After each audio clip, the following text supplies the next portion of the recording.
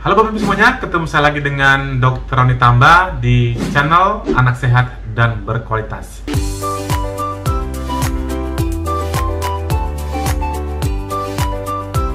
Kali ini saya ingin mengajak Bapak Ibu, khususnya ibu-ibu yang sedang menyusui bayinya atau merasa ada gangguan. Ini untuk kembali menyusui bayinya atau dinamakan dengan relaktasi. Relaktasi itu adalah mengembalikan si ibu menyusui bayinya dan juga bayi menyusu ke ibunya. Dan kali ini materi akan dibawakan oleh orang-orang yang berkompeten di bidangnya. Jadi, sebelum memulai apa yang akan saya sampaikan ini, jangan lupa bagi Anda, Bapak Ibu yang mungkin saja baru menyimak materi-materi kami di channel Anak Sehat dan Berkualitas, silahkan klik subscribe-nya, like, dan boleh di-share kepada teman-teman yang lain agar semua orang bisa mendapatkan materi dan manfaat yang sama tentunya. Dan terima kasih nih kepada Bapak Ibu yang sudah rajin menyimak materi-materi kami di channel Anak Sehat dan Berkualitas. Yuk, ajakan apa sih yang ingin saya sampaikan? Jadi, tema atau latar belakang dari kegiatan ini adalah kita tahu bahwa setiap tahun di bulan Agustus di minggu pertama itu sering disebut dengan Pekan menyusui sedunia atau World Breastfeeding Weeks.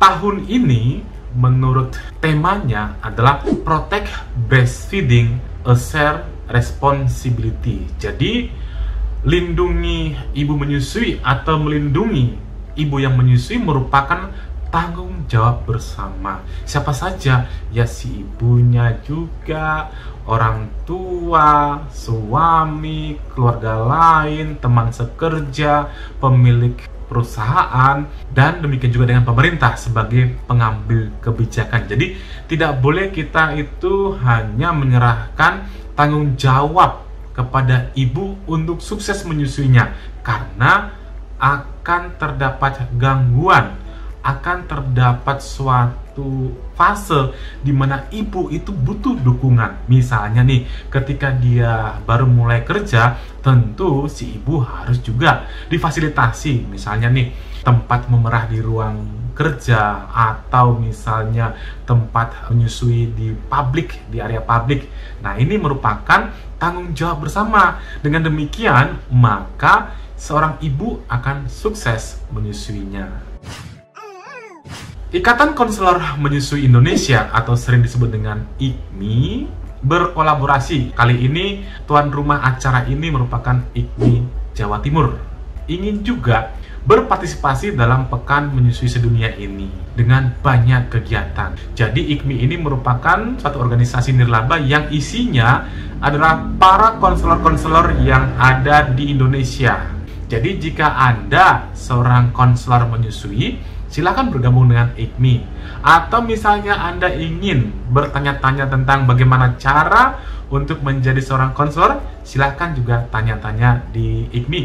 Yang paling gampang silahkan di DM di Instagram IKMI. Kalau IKMI itu yang pusat, IKMI underscore pusat, yang Provinsi Jawa Timur, IKMI underscore Jatim. Silahkan. Kali ini, kegiatan yang dilaksanakan oleh IKMI atau Ikatan Konselor Menyusui ada dua bagian besar. Yang pertama adalah parade Instagram Live. Nanti pada parade IG Live ini akan diadakan 6 hari berturut-turut. Mulai tanggal 1, tanggal 2, tanggal 3, tanggal 4, tanggal 5, tanggal 6. Tanggal 7 itu akan istirahat dulu untuk mempersiapkan fase yang kedua. Fase yang kedua itu adalah Zoominar Seminar itu nanti akan menghadirkan beberapa narasumber yang kompeten di bidangnya. Apa saja sih materi-materi dalam Instagram Live nanti? Ada banyak. Yang pertama sekali itu topiknya adalah apa saja yang perlu ibu ketahui sebagai pemeran utama. Jadi memang menyusui itu adalah peran utamanya adalah ibu, tentunya juga si bayinya.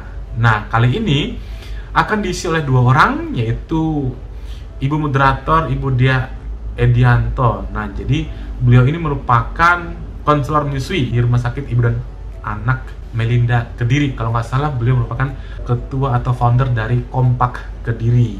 Nah, sebagai narasumber merupakan Dr. Regia Puspa Astari Cimi. Beliau bekerja sebagai konselor menyusui di Rumah Sakit Permata Depok, BWCC Jagakarsa. Mungkin orang-orang Jakarta sudah paham, sudah kenal betul siapa beliau ini. Topiknya itu bagaimana nanti mengembangkan dari aspek tanggung jawab si ibu dalam sukses menyusui. Kapan dilakukan? Hari pertama, jangan lupa follow ya, follow Instagram ikmi underscore pusat dan juga ikmi underscore jatim. Jangan lupa tanggal 1 itu hari Minggu jam 10 pagi.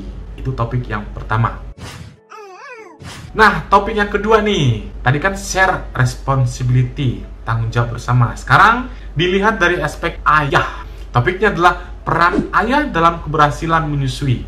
Tak kalah pentingnya. Ini dilakukan pada hari kedua, hari Senin 2 Agustus jam 19.30. Jangan lupa catat ya. Ini sangat penting banget. Tentu karena ayah, maka kita mencoba untuk menghadirkan narasumber yang tidak asing lagi dari Gema Indonesia Menyusui, GIM, yaitu Bapak Wasugi Wawan Sugianto. Saya kira dalam dunia perasian hampir tidak ada lagi yang tidak kenal beliau ini. Ibu moderatornya adalah Dr. Regia Puspa Astari dari Rumah Sakit Permata Depok. Hari ketiga, topiknya adalah It Takes a Village to Breastfeed a baby. Jadi ini merupakan tanggung jawab lingkungan. Bagaimana lingkungan-lingkungannya, misalnya saudara dan lain sebagainya. Ini juga harus bisa mendukung seorang ibu untuk sukses menyusuinya. Ibu moderatornya adalah Ibu Evi Rahmawati Beliau merupakan ahli gizi dan konselor menyusui Puskesmas Kecamatan Cengkareng, Jakarta. Beliau juga pengurus IKMI Pusat. Dan kali ini narasumbernya adalah Ibu Dea Edianto dari Rumah Sakit Melinda Kediri, founder Kompak Kediri. Ingat, catat Selasa tanggal 3 Agustus jam 8 malam atau jam 20. Topik yang berikutnya, topik yang keempat atau hari keempat adalah nakesku peduli selalu dukung aku menyusui. Jadi di sini adalah peran atau tanggung jawab seorang tenaga kesehatan ya khususnya yang membantu persalinan dan juga yang menjadi konselor juga. Misalnya nih seorang dokter kandungan, dokter anak, bidan dan lain sebagainya. Kali ini narasumbernya tentu dari tenaga kesehatan. Kami ambil dari langsung SPOG, spesialis obstetrik ginekologi yang menangani, yaitu Dr. Agus Herianto. Beliau dari Rumah Sakit Medika BSD. Moderatornya adalah Dr. Bonita Francisca Raharja. Beliau bekerja di Klinik Kehamilan Sehat Prim. Beliau merupakan seorang konselor juga dan pengurus IKMI Pusat. Jangan lupa, hari keempat, yaitu hari Rabu jam 6 sore atau jam 18 topik yang kelima atau hari yang kelima adalah tempat kerjaku ramah asih. Jadi ini aspek tanggung jawab dari pemberi kerja, di mana kan kita ketahui banyak sekali tuh ibu-ibu yang curhat bahwa dia tidak punya tempat untuk memerah asi, tidak mendapatkan keringanan atau dispensasi pekerjaan, dan juga tentang cuti melahirkannya. Kali ini langsung dibawakan oleh Ibu Ketua IKMI Pusat yaitu Dr. Cut Budiarto Emma Sanda. Beliau merupakan ketua Ikatan Konselor Menyusui Indonesia dan juga pernah sebagai kepala puskesmas tentu beliau punya cerita tentang bagaimana memanage anak buah yang punya baby tentunya yang sedang menyusui. Ibu moderatornya adalah Ibu Hoisana Wenes Doe ya Beliau merupakan konselor menyusui divisi pengembangan IKMI. Jangan lupa hari kelima yaitu hari Kamis jam 8 malam.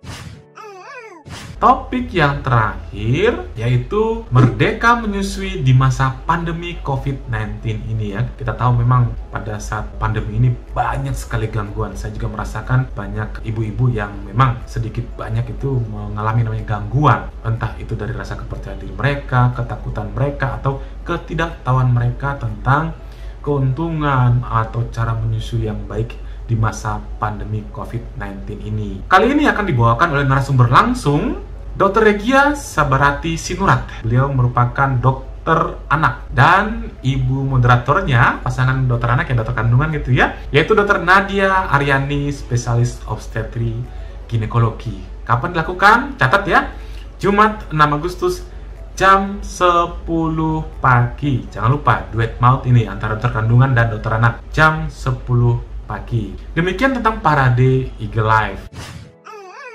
Nah, yang kita tunggu-tunggu adalah Zoominarnya. Jadi, Zoominar ini bisa diikuti oleh semua pihak, baik itu masyarakat awam, ibu-ibu yang mungkin saja sekarang sedang bermasalah menyusui tapi ingin kembali menyusui bayinya, itu namanya relaktasi. Yuk, ikut acara ini.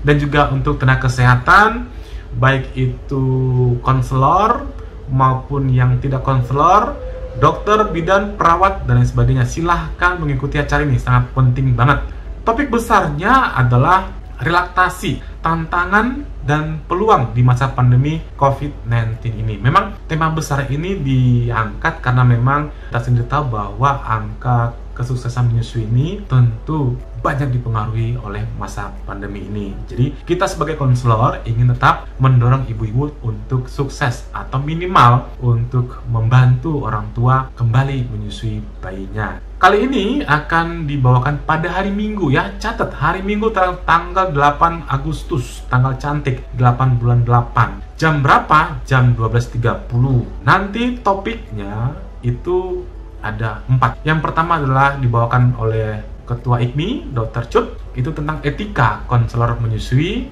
Dan yang kedua, sebenarnya yang kedua ini dibawakan oleh Dr. Hikmah Kurniasari, MKM, IBCLC CIMI. Beliau merupakan divisi riset IKMI Pusat. Jadi, beliau akan membawakan topik situasi terkini dan tantangan menyusui di masa pandemi COVID-19 ini. Dan yang ketiga, saya sendiri sebagai Ketua IKMI Jawa Timur akan membawakan topik yaitu respon antibodi dalam ASI pada ibu pasca infeksi atau penyintas gitu ya dan juga imunisasi terhadap virus COVID-19 ini. Jadi memang kita ingin menyadarkan bahwa ASI itu penting even jika ibunya dalam keadaan terinfeksi COVID-19 dan ibu-ibu menyusui boleh divaksin Nanti kita bahas di sana bagaimana prosesnya dan bagaimana aturan-aturannya dan bagaimana manfaat-manfaat yang bisa dirasakan oleh si ibu dan juga si bayinya.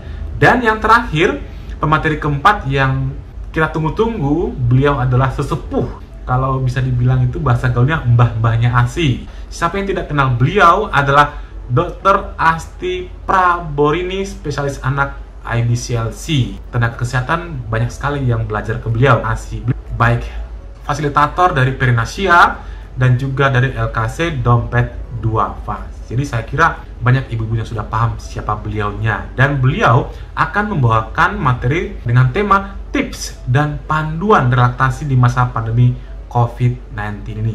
Jadi jangan sampai ketinggalan acara tersebut karena kapan lagi ibu, bapak semuanya bisa belajar tentang relaktasi ini. Bagaimana cara pendaftarannya? Yaitu dengan klik pada link yang sudah dibagikan ya, HDTPS bit.ly garis miring Zoominar underscore IKMI. Nanti di sana akan ada panduannya. Nah, jangan lupa ini gratis bagi Anda anggota IKMI. Jika Anda seorang konselor dan belum merupakan anggota IKMI, silahkan daftar DM Instagram IKMI Pusat. Nah, ada early bird-nya sampai tanggal 25, jadi silahkan buruan pendaftarannya supaya mendapatkan harga yang lebih murah. Nanti jangan lupa di samping Anda akan mendapatkan ilmu yang luar biasa, Anda juga akan mendapatkan sertifikat, yaitu berupa e-sertifikat. Dan bagi Anda nakes, nanti acara ini terakreditasi sertifikat mendapatkan SKP ID dan juga IBI dari Ikatan Dokter Indonesia dan juga Ikatan Bidan Indonesia. Nanti Zoominar ini akan dilangsungkan pada hari Minggu dengan platform menggunakan Zoom. Jadi jangan lupa ikuti acara ini, sangat bermanfaat baik pengetahuan kita dan bagi orang tua atau ibu yang langsung silakan mana tahu nanti bisa terbantu untuk kesuksesan atau kembali melakukan relaksasi. Nah demikian Bapak Ibu semuanya saya sudah memaparkan tentang pengumuman saya untuk mengajak Bapak Ibu atau siapa saja yang ingin mendalami ilmu relaksasi. Mudah-mudahan materi dan pengumuman ini bisa bermanfaat bagi kita semuanya. Yuk suksesan bersama pekan menyusui sedunia. Salam sehat. Dadah.